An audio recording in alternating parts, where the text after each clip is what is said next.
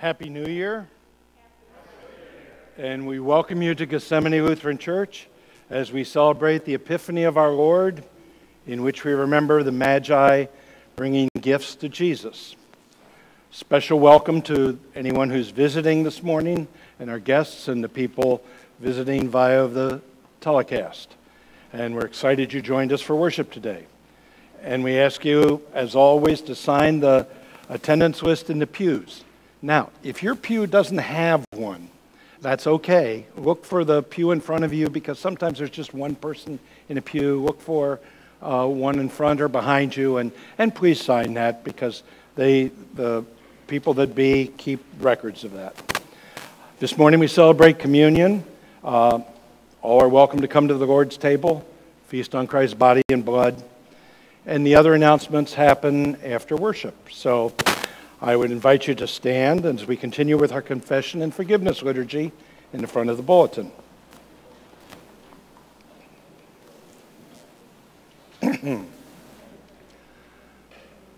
Blessed be the Holy Trinity, one God, love from the beginning, Word made flesh, breath of heaven.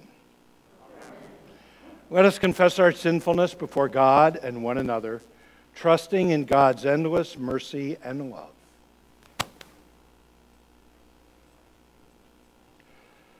Merciful God, we confess that we are not perfect.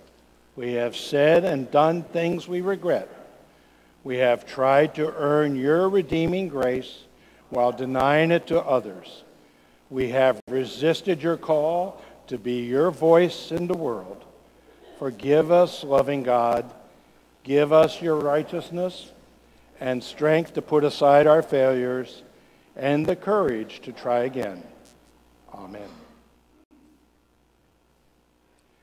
Dear people of God, hear the good news. Christ the Savior is born. You are loved and forgiven in the name of Jesus, who has come among us. You are freed from proving that you deserve to be loved, because God's love is given to you as the most precious gift of all. Amen.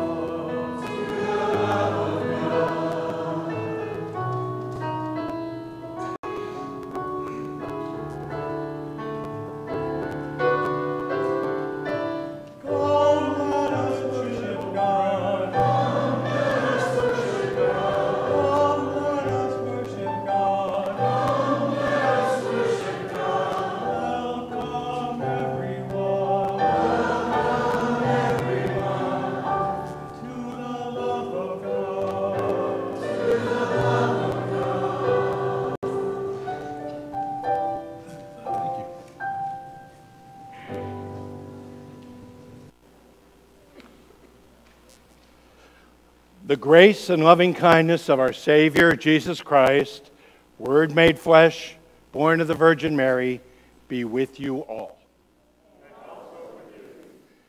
And let us pray. O God, on this day you revealed your Son to the nations by the leading of a star.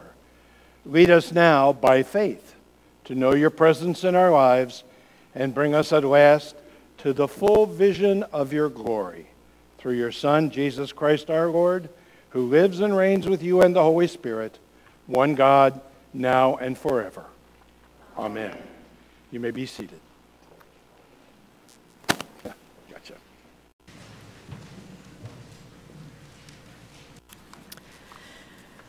The Feast of the Epiphany manifestation concludes the Christmas season with a celebration of God's glory revealed in the person of Jesus Christ.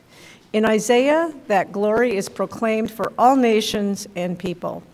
Like the light of the star that guided the Magi to Jesus, the light of Christ reveals who we are, children of God who are claimed and washed in the waters of baptism.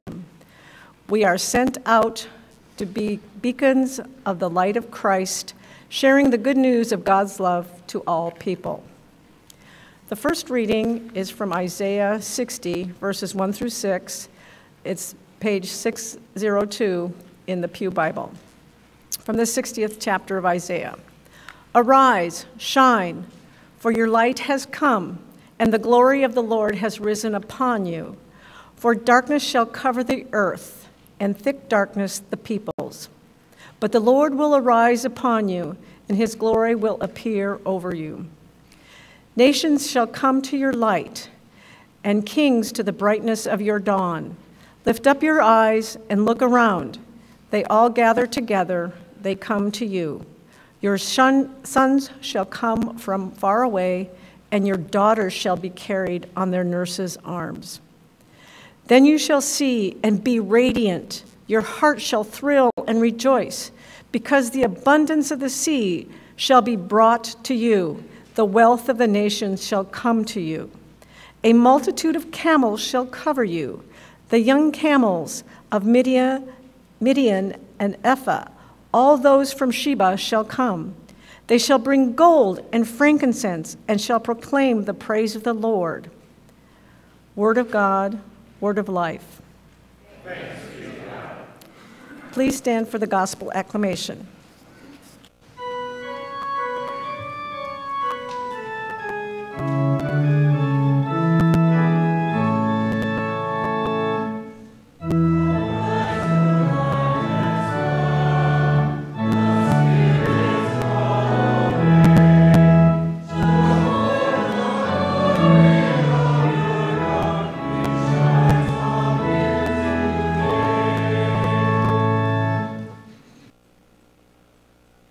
Holy Gospel according to Matthew, the second chapter. In the time of King Herod, after Jesus was born in Bethlehem of Judea, wise men from the east came to Jerusalem asking, Where is this child who has been born King of the Jews? For we observed his star at its rising and have come to pay him homage. And when King Herod heard this, he was frightened, and all Jerusalem with him. And calling together all the chief priests and scribes of the people, he inquired of them where the Messiah was to be born. They told him, In Bethlehem of Judea, for so it has been written by the prophet, the prophet Micah. And you, Bethlehem, in the land of Judah, are by no means least among the rulers of Judah. For from you shall come a ruler who is to shepherd my people Israel. Then Herod secretly called for the wise men and learned from them the exact time when the star had appeared. Then he sent them to Bethlehem, saying, Go and search diligently for the child. And when you have found him, bring me word so that I may also go and pay him homage. When they heard, heard the king, they set out, and there Ahead of them went the star that they had seen at its rising, until it stopped over the place where the child was. When they saw the star they had stopped, they were overwhelmed with joy. On entering the house, they saw the child with Mary, his mother, and they knelt down and paid him homage. Then, opening their treasure chests, they offered him gifts of gold, frankincense, and myrrh.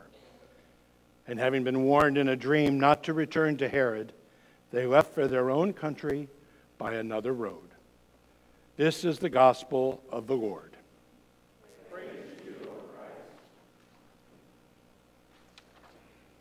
Okay, I guess we're not singing that. Okay.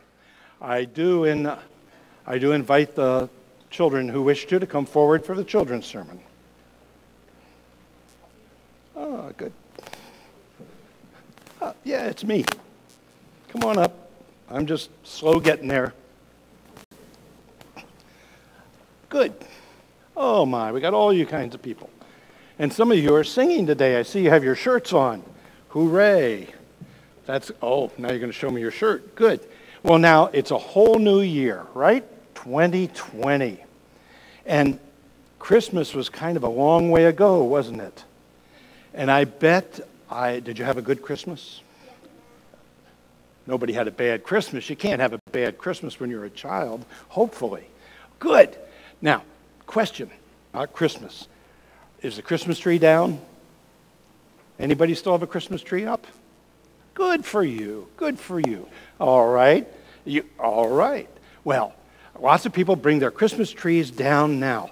But today, it, we're celebrating something called Epiphany. And you guys who are singing in the choir know because it's, it's the light of the, you, let my little light shine, right? And you're going to sing during the offering, and we're looking forward to that. I'm going to talk about that in a minute too. But Epiphany is 12, the 13th day after Christmas. And in many countries, and long, long ago, Christmas gifts were given on Epiphany rather than Christmas Day. That's before all the stores got into it and, and we got to be industrialized and all that sort of stuff. I was for the adults. And all that. And what happened on Christmas Day, people got little gifts, maybe an apple or something like that. And then on Epiphany, the big gifts came. But that's different. So, indeed, today is the 12th, tomorrow actually is Epiphany, January 6th. But Pastor and Laura and I cheated, and we made Epiphany today because it was easier to preach on than something in between. So it's really the 12th day of Christmas. And Unova's 12 days songs, so we'll talk about that later. All right, so I brought for Epiphany a light bulb because part of Epiphany is let your light shine and arise and see the light of the world who is Jesus. Now, just a simple little light bulb. Do you guys still read comic books? Sometimes? Oh, good. That's, I, I figured they, you know, you don't necessarily get them on the internet or on the other stuff. When there's a light bulb in a comic book, what does it mean? What does it mean? It means someone has an idea. Somebody has an idea. Fantastic. Good job.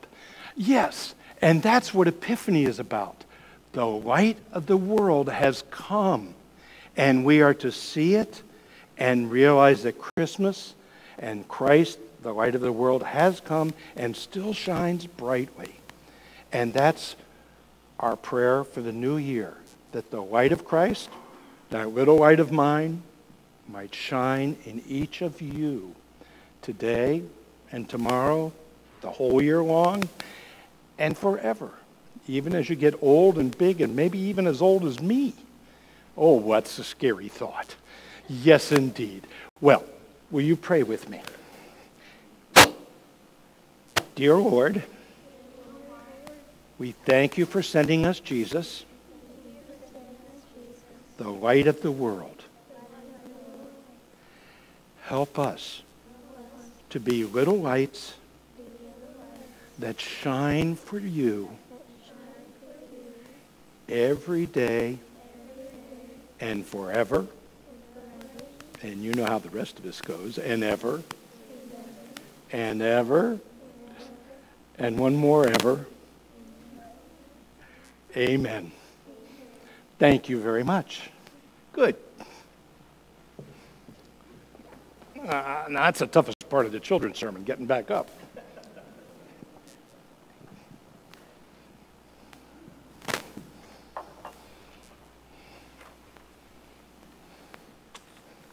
Switch this over here. I had a PS to the children's sermon. Today was a very, this was more difficult task to put a sermon together with all the different things because almost there was too much to say. It's a new year, it's Epiphany, and as we talk about those 12 days of Christmas. But since music is such an important part, today is really the, uh, the 12th day of Christmas, tomorrow is Epiphany, and I wanted to just say one thing and let you Google it about the, the song, The 12 Days of Christmas. It almost became the sermon, but it wouldn't have been done justice to the gospel lesson. And while the 12 Days of Christmas seems like a silly little song with its lyrics, really it has a meaningful message in some coded language. Because when it was written, the Anglican Church had broken away from the Catholic Church in Europe, and Catholics were outlawed in England. And this song was a way for those people to remember things. You've got to Google it to get the whole thing, or you'd get the whole sermon. But my true love is God, gave to me as believers, and then there's the gift. And I'm only going to tell you about the first one because that's the you get to do the rest. The partridge in a pear tree is the gift of Jesus wrapped up in, in the manger and all of that. And the partridge is used because the partridge is the one bird that will die to defend its young. And that fits with Jesus. You Google the rest. That's the part that I had there, but I, it was just important part of what I had. So grace and peace to you and God our Father from our Lord and Savior Jesus the Christ. The messages and themes of Epiphany. Arise, shine, your light has come. The glory of the Lord will shine in the darkness. And there's something about that star of wonder, star of light. Now, for me, we've actually, my wife and I have lived here in, some, in Lexington for over 20 years, longer than any place in our whole lives, even as children. And I did serve the church, it's almost been five years now since I retired, in Somerset. I do have a place down there Somerset, south of Burnside Island. It overlooks Woodson Bend if you really know the place. But I call it the abode. It was supposed to be a place we visited a lot, but I would stay there when I was needed to be in Somerset for periods of time. And indeed, there's, there was one night here in Lexington where I just wanted to go outside. It was a goofy day. I needed to be outside in the back porch. And I wanted to look up at the sky and see the stars and, and just do all that. I was sorely disappointed. There was so much light. There's a great big oak tree in our backyard. I could hear the Harrodsburg, Harrodsburg Road traffic. And the city lights blocked out any notion of being able to see something up in the sky along with the tree. And I say that because, by contrast, at the abode, I'm out in the country, and the first night after I bought the place and stayed there, it was a full moon. And I couldn't believe how bright it was. And the light, and that theme of light. And I'm, I'm attracted to that. And there's a wonder about that, kind of like I see in the star of wonder that attracted the Magi. Now, if you know the Somerset area, you also know that there's Cumberland Falls down there. And the unique thing about Cumberland Falls, other than it takes about 15 minutes of Kentucky mountain roads either way to get there from 75 or 27, is that there's a moon bow and when the full moon is at its brightest and hits the waterfalls just right, it makes a rainbow.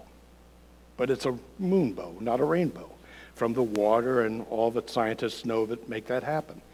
And I say that just because as I see and try to understand the attraction of the Magi, the wise men, to that star of wonder, the moonbow has that attraction to me also, because whenever it's a full moon and I'm up here, I think about Cumberland Falls and the moonbow, and there's a certain attraction to that.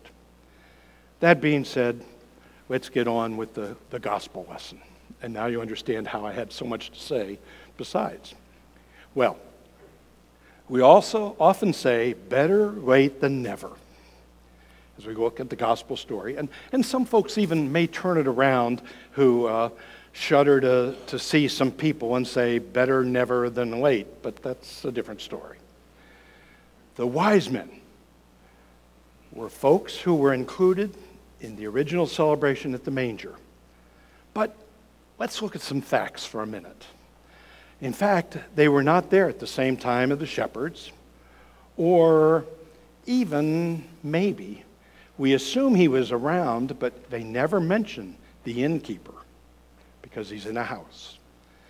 They are latecomers to the first Christian Christmas celebration. A different time, even though in the manger and the creches we, we put them all together because that's the way it fits. So, a little bit about wise men, some facts, and the star and things. The wise men were latecomers to the Christmas celebration, three kings, the Magi.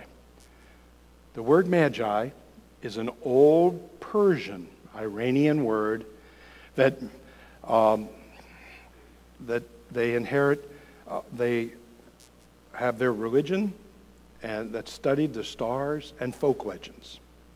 Now, most likely, they were not kings.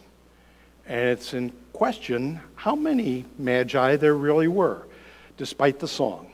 And there are three, always mentioned by tradition, because there were three gifts gold, frankincense, and myrrh. So we make assumptions. Now, this one's a little more far fetched. They may not all have been men, for that matter, might have been some wise women. And after all, they did stop and ask for directions from Herod. Sorry about that one. The story could have occurred as long as two years from the manger scene in Bethlehem. They note that they had seen the star at its rising, which was sometime in the past. Now, it gets a little more, eh, there's interest and conjecture over what exactly the star was. Some say maybe a supernova, planets coming together, or a comet. You can pick your theory. But a fascinating, strange one that came up as I was researching. Some have explained that the star was actually an angel, a bright messenger from heaven, calling them to come. Now, the reasoning for that is in Revelations the angels were messengers of the seven churches, and they are depicted as stars in the hands of Jesus. Just a new thought that may or may not matter. Regardless of those answers, we know that the Magi saw something unusual. That light in the sky, that star of wonder, I want to call it. And according to the legends they had studied, they deduced it was an important child had been born in Judea, the land of the Jews. Now, the Persians would have known quite a bit about Jewish belief systems, as their ancestors, the Babylonians, had captured Jerusalem and held the Jews in exile about 500 years earlier. So the Magi's curiosity, their wonder, led them on their late Christmas journey. And you know, there is room at the inn for them. And that's strange because they were foreigners and not the ones that you would expect, but with the message that Jesus was born for all the world. Now, as we pursue it a little further, the truth about God can be found everywhere, and evidently anywhere too. The Magi are kind of proof of that. They're not Jewish, they're not even Christian, through, though their history led them to believe in one God. They did not fit, though, the normal criteria for someone who had likely come to visit Jesus or Christ. And who would expect that these guys or even gals from a pagan society would come such a great distance at great cost with expensive gifts to worship a child? It was some wondering and some curiosity. But of course, the whole Christmas story is about God doing the unexpected. After all, when you think about it, isn't it? Think about it. a teenage virgin mother, a reluctant stepfather, a baby born in a barn on the backside of nowhere. And the first witnesses to the event is a bunch of smelly shepherds. You get the idea. So now, add to this cast of folks these mystical, magical philosophers, astronomers, as among the first to see what God was up to. We use all that because it makes one wonder just where God might be trying to send us messages of truth in our own time. Those messages. But the real question is not where God might be trying to send them, but if we were to hear that truth, that speaking from God, what would we do with it? And that's where the story continues and is very interesting. What do you do next when you hear from God? And indi- that indicates what kind of faith you actually have. There are three sets of characters in the story they heard the truth about the baby born in Bethlehem, and each had a different reaction. So let's look. First, the priests and the scribes. They had all the right knowledge and the information, and they quoted Micah for to Herod as soon as he had asked, Where is this kid they're talking about to be born? They knew a Messiah was coming, and there were even rumors, if you're in religious circles, of some kind of birth out there. Then there is Herod. He had the message from the Magi,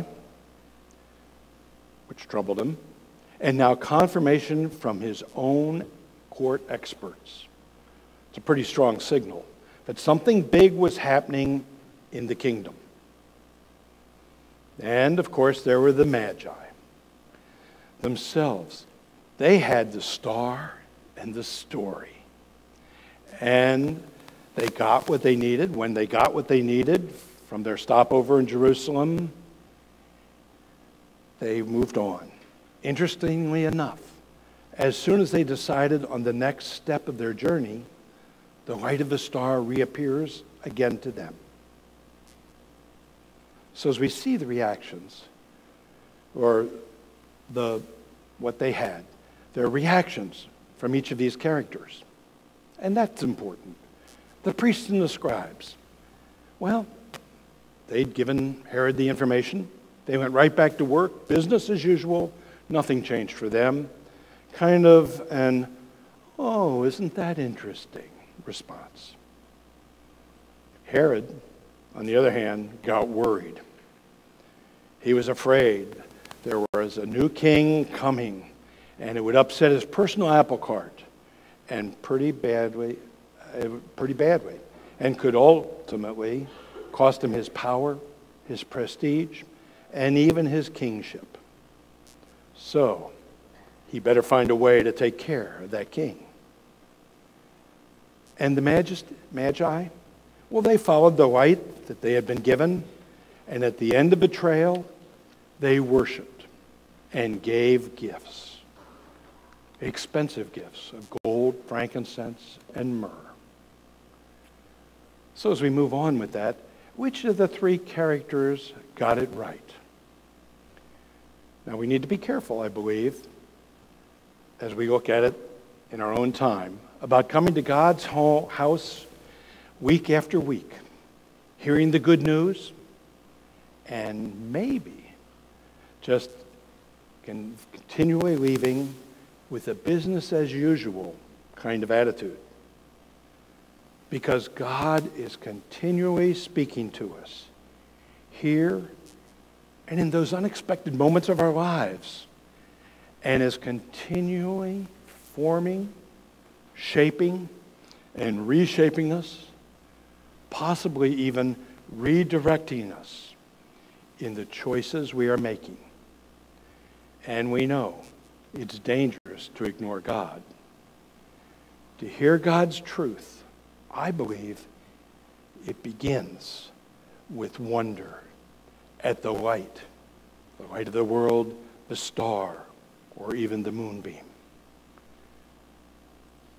The other characters, worrying about what following God's will will cost us is not a good option either. Herod did a pretty good job of placing him on the, himself on the throne of his life. He was willing to murder to keep things under his own control, killing not only his own family members, but that slaughter of the innocents in Matthew, just a few verses beyond our gospel. But in the end, what happened to him? History tells us he went insane and died after being exiled by the Roman Emperor Caligula. So it is the outsiders, the unlikely candidates in the story, that give us the example of faith. And as we've done so many stories in the Old Testament and otherwise, the people who would be considered outside are often given the place of honor by Jesus and, and used for God's purpose in ways even they would not understand. The outsiders, the magi, unlikely, but give us the example of faith. Because they put feet to their prayers, if you will. They got up and went in the direction that God revealed to them, and they expressed their faith in real practical terms with worship of the newborn and gifts. Not only did they fulfill their journey, seeing the king, but move forward with a renewed faith. Of course, it didn't mean from then on their way was easy before seeing the Christ child or even thereafter. And there's a message there for us. Following Christ may lead you on a road less traveled. So, what happened? The Magi got a warning about going back the same way they came. And just in case the wise men weren't wise enough to figure out that Herod was, was power hungry and deceitful, they dreamed about taking a different way home. That way home might have been a harder journey. It may have taken them longer. It probably was more costly in their efforts and expense. But it was the right way to go. We may need to take some different paths in our own lives, and maybe New Year's resolutions are supposed to help do that. But different paths in our lives once we have seen and heard God's message for us. We've seen the wonder of the star, and it's made an impact. It may not always be the smooth or popular way that we are called to walk. The path may get steep. The cost may be high. But what we do know is God has promised to walk with us and guide us. Robert Frost in The Road Not Taken. Just the very ending part. Two roads diverged in a wood, and I I took the one less traveled by, and that has made all the difference. Such a pretty good metaphor for our call to walk the way with Christ on this day and every day that lies ahead of us, and as we enter a new decade and beyond. What a challenge, what a venture, what a thrill, and that star of wonder the Christ will lead us to To that I say, Amen.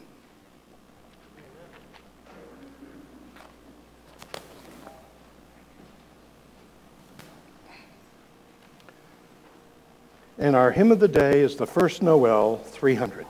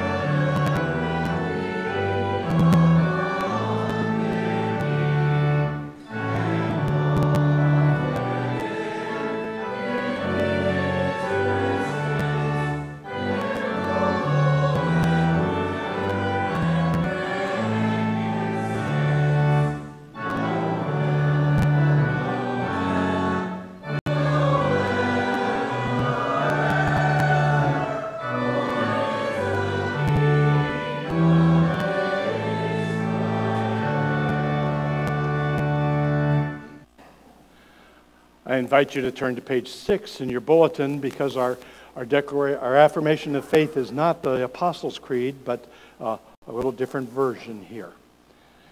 Let us declare our faith in God.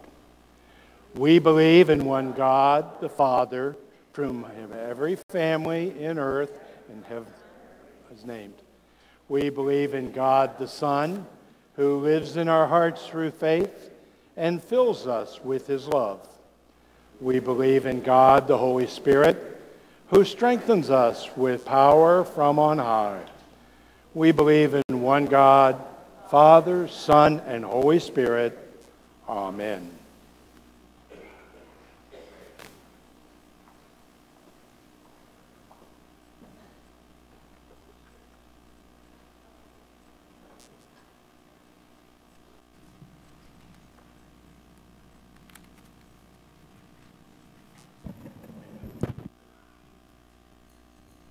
Gathered with all who seek the Christ child, let us pray for the church, the world, and all who are in need.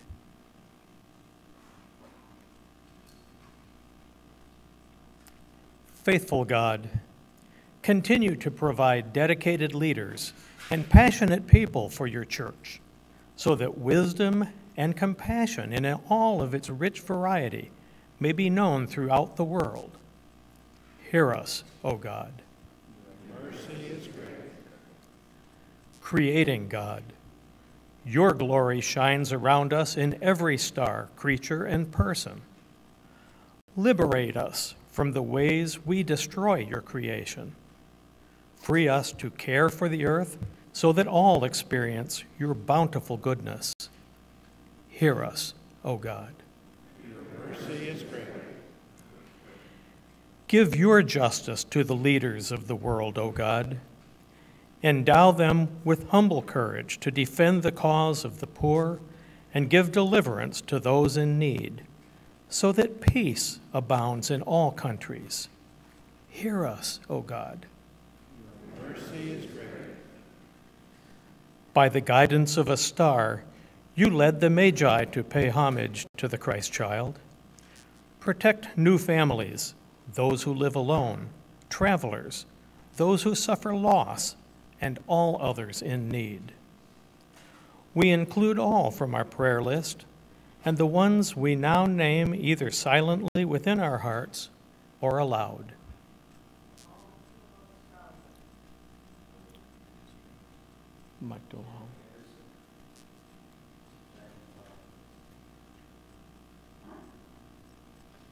Hear us, O God.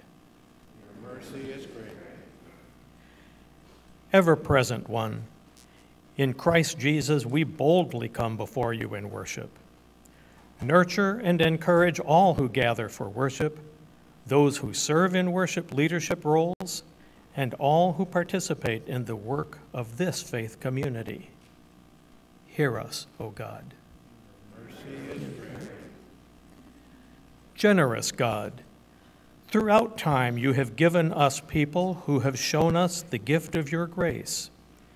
Inspire us by their faithfulness to serve you and all your people.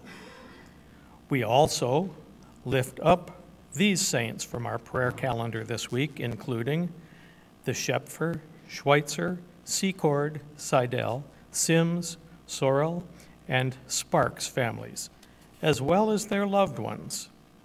Hear us, O God. Into your gracious hands we commend all for whom we pray, trusting in your steadfast mercy through Christ Jesus, our Savior and Lord. Amen. As angels of God heralded God's peace to those in darkness and fear, God is also present in our time of need and the peace of Christ be with you. Let us share the peace with one another.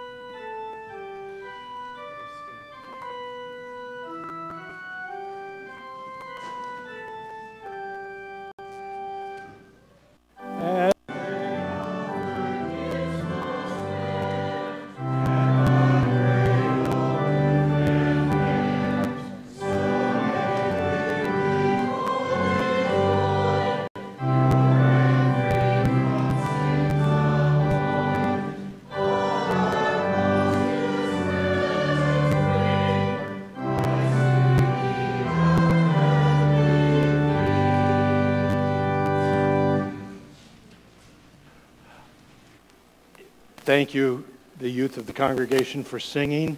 Eh, From my vantage point over there, it was great to see the, the kids lighting up things, and yet the children in the pews that are of adult age that sang along or hummed along or smiled along make this community special. With that, our offering prayer.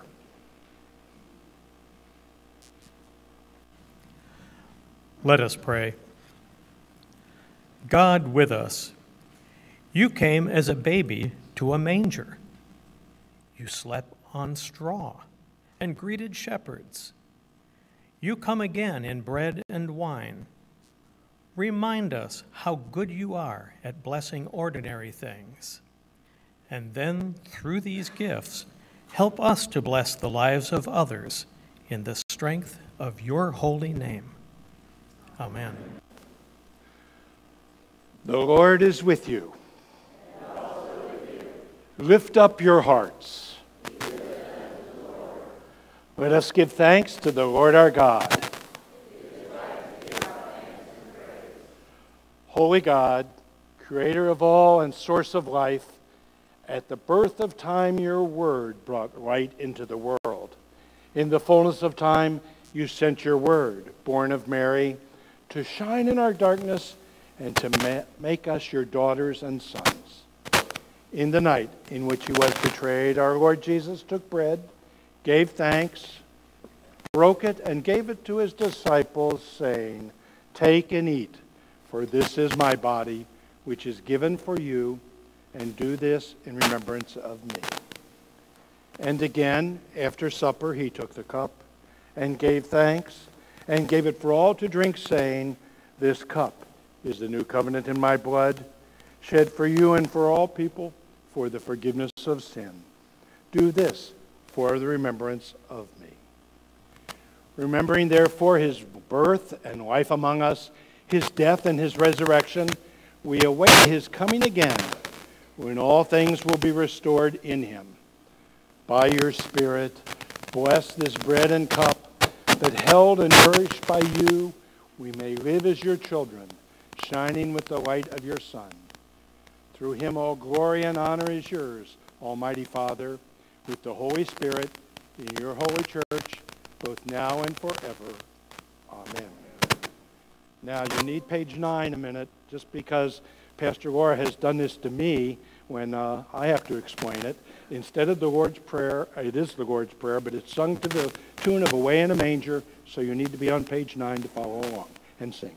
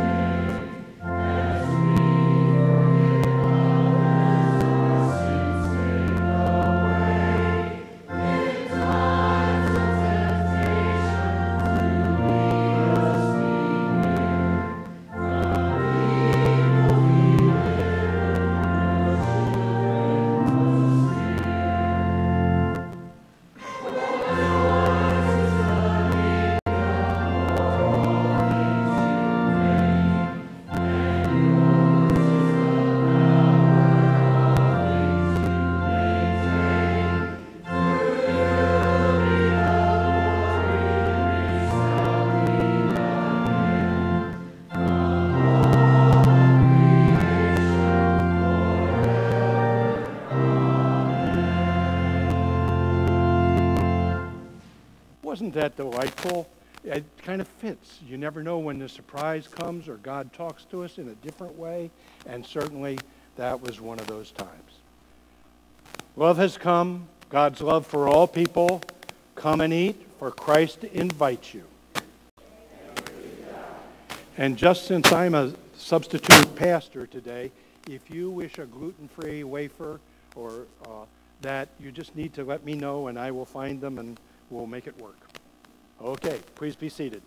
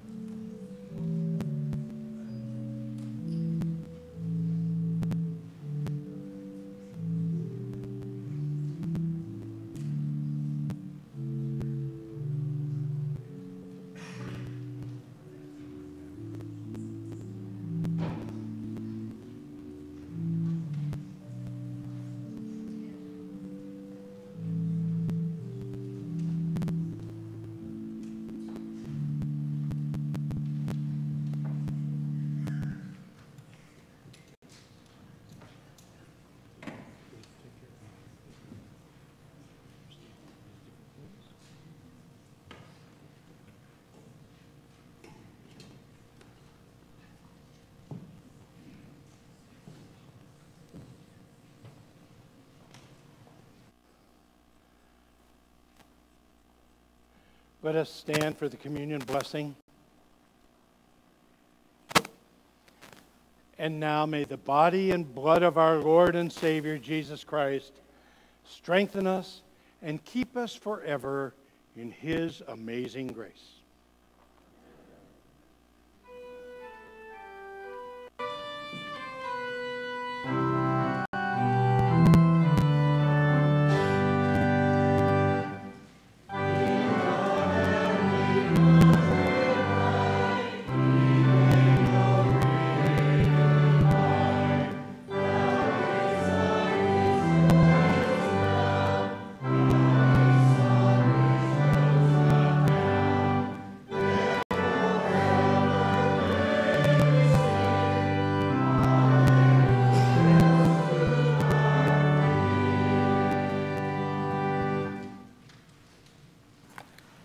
Let us pray.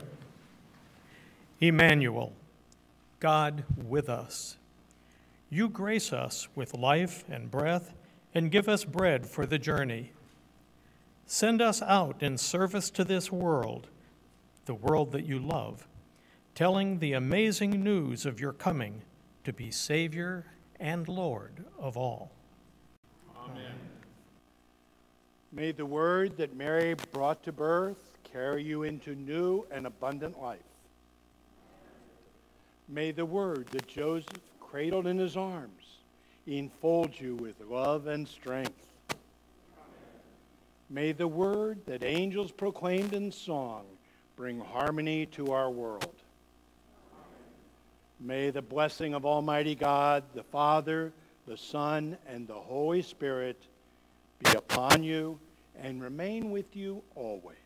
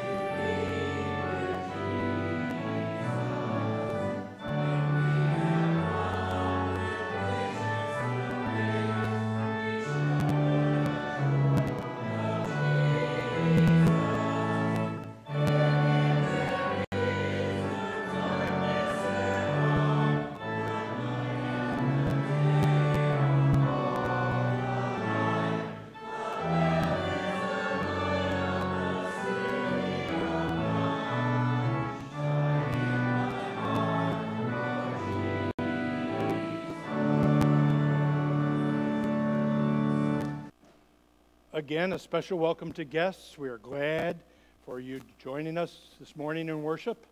If you plan on making an announcement, you know the drill. You just go up to the front, so the microphone, so others can hear you. And please take home your entire bulletin so you can know what's happening for the next few weeks. Microphone, you're on. Thank you for the children and your music. I have two. Oh, sorry. The first one is next week. You're all invited to the blessed service at 6 o'clock, and we'll have a light supper afterward. And Karen's going to be speaking, and Dave is going to provide a prelude. Um, the second thing is I have music now in the order of worship for the Christian Unity service, which will be held uh, three weeks from today, January 26th at 7 at Pax Christi. So if you're interested in singing with the choir, they're going to rehearse at 5.30 right just prior to the service. Or if you want to play an instrument, they, I, they just said instrumentalists and vocalists welcome. So let, just see me if you're interested. Thanks.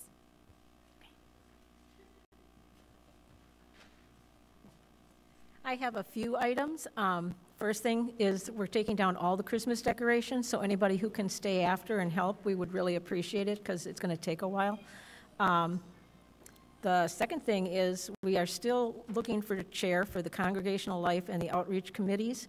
Um, the annual meeting is the end of this month, and we really would like to have someone, some people in place in those committees. So um, please search your heart and see if you are willing to chair those committees. Um, you can talk to Kelly, me, Melanie, um, Megan, Chris Williams. Um, just let us know. Thank you. Um, and also, a fun thing at Project Day on the 22nd this month, Pam Anderson is willing to teach anybody to knit. So if you're interested in learning how to knit, there is a sign-up sheet on the GLCW bulletin board outside the fellowship hall so she knows how many needles and yarn to bring. All you have to do is show up and she'll be happy to teach you how to knit. Thank you.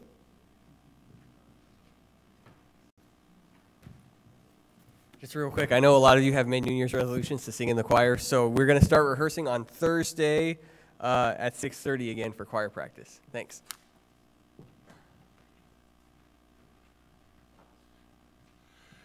Two quick ones. One is a reminder from Fellowship that the annual meeting is coming up at the end of this month.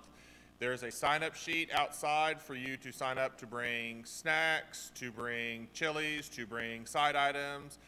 Drinks and cleanup and setup will be handled by the Fellowship Committee. Everybody is encouraged to bring whatever you can because let's face it, all of you feed all of us. And the second thing is your annual contribution statements from 2019 are outside, uh, right behind where my family usually sits. Feel free to pick those up. If you don't see yours, check with your family and then check with me. That's, oh, we're done. That's even better. Okay, good. Send us on our way, Art.